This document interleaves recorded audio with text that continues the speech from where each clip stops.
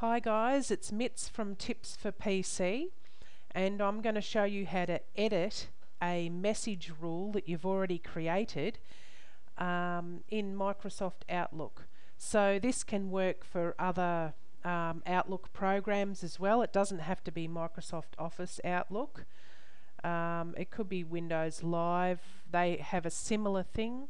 So let's go and do it. So what we're going to do is go to the Tools menu up the top and we are going to look for rules and alerts.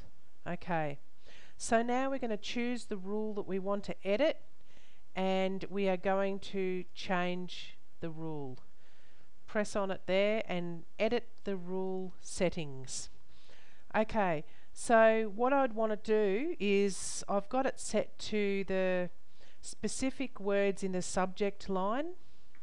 Now what I wanted to do was also go to this one here specific words in the subject or body. Okay? Now in the body of the email just in case I miss something with the subject line. So I'm putting that there. I've got um, my things that I had already but here I have to fill in the one that I just ticked which is this one. So I want these specific words in the body. Now I'm just going to see if I've copied it. Yep. Recover from a black screen. That's the words in the body of the email.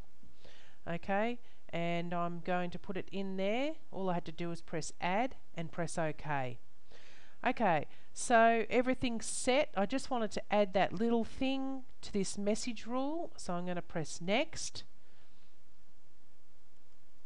and it comes up to the exceptions which I don't um, really have any like I said before. Um, you can have all these you can go through them they're quite amazing okay? Um, and then we're going to press next and we're still leaving it the same name. Now you can choose to run this now if you want because you've changed it remember and what it will do is pick up any of the odd ones that were left out before. Okay but I'm not going to do that because I've done it all myself and I'm going to press finish.